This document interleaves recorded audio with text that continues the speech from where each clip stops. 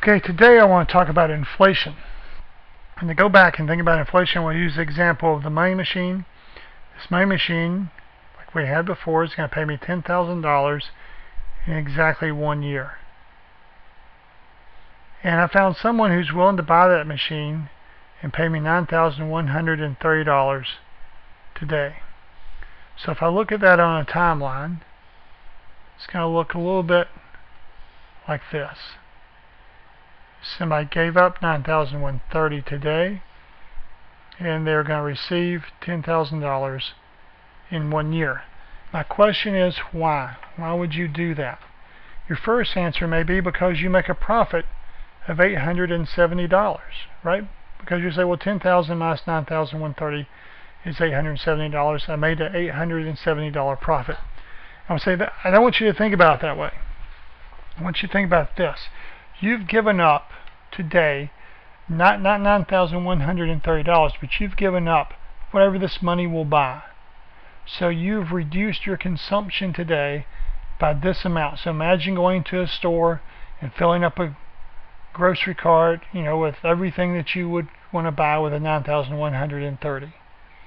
You can't do that and you wait for a year to get the 10,000. Why did you do that? Because you will have more stuff in that grocery cart with the $10,000 in a year than you would have with the 9,130 today. So what you're doing is you want to increase what I'll call your real return. Real return, think of things that you can buy, you can put in that cart. Um, you will increase your overall satisfaction with your consumption because you will have more stuff in a year than today. But we all know in general prices go up. So you don't make you don't have $870 uh, worth of additional stuff. There are two portions of this. Part of that is a real return, part of that is inflation. So I can think of the, the equation this way. I know 1 plus, let me give you some terminology here. 1 plus R, capital R, I'm going to call that the nominal return.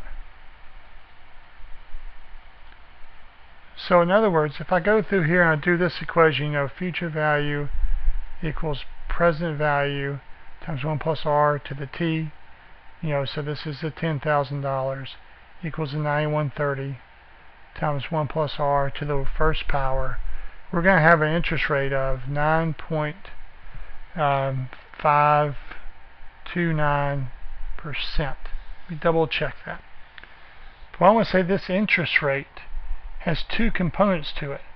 This is what I'll call the nominal return.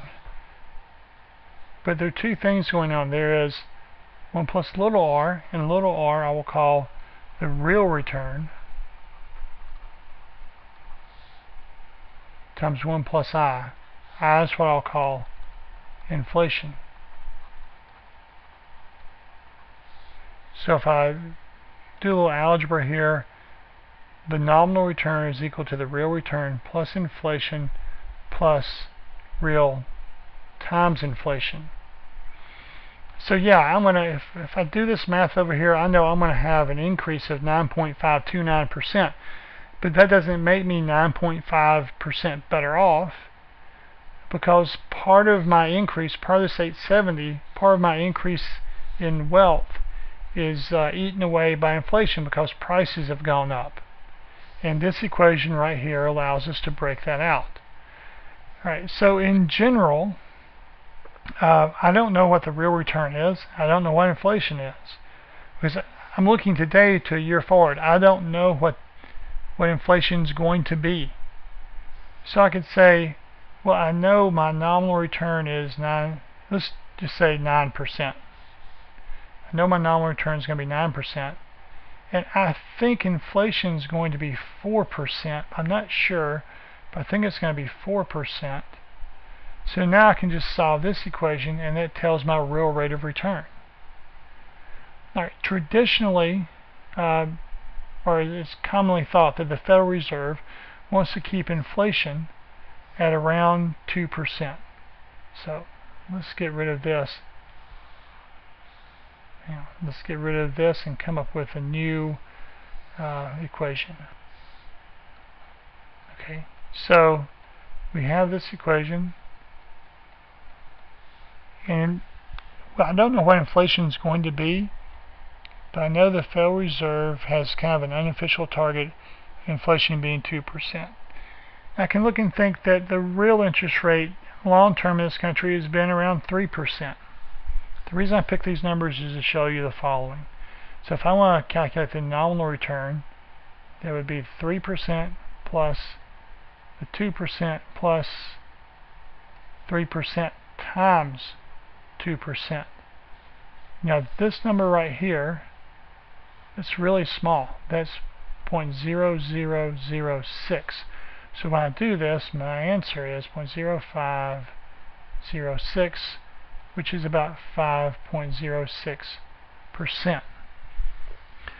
Some people will say, look, rather than doing the exact equation that we have here, let's do an approximate equa equation. The approximate equation, and I'll denote that with a squiggly equal sign, is going to be r plus i, which in this case is going to be 0.03 plus 0.02. This line should be squiggly. That will be equal to 5%, which is not very different than 5.06%. So sometimes we want to be real exact and we'll do this exact equation. Sometimes I'll just ask you for the approximate. And the reason is this last term right here generally is very small. Okay, so that's inflation. Let me show you one last concept for chapter 2 and that will be it. So let's look on the timeline here like we've had before. Um, we'll say that this is time 0, time 1, 2, 3, 4, 5. So you know this equation, um, future value equals present value times 1 plus r to the t. Now, what if I told you in year 2 we put $100 in an account and the account earns 10% and I want to know how much it's going to be worth at year 5. Now, now we'll say, well, the future value is the value in year 5. The present value is the value in year 2. Um, R is 10%. T is how many steps I go. I go one, two, three steps. T is equal to 3. So the value in year 5 is equal to 100 times 1.10 to the third. And you know that's going to be 133.10. Okay, let's look at this a slightly different way. So what if I said, look, I know that five years from today, I need to have a hundred dollars in my account.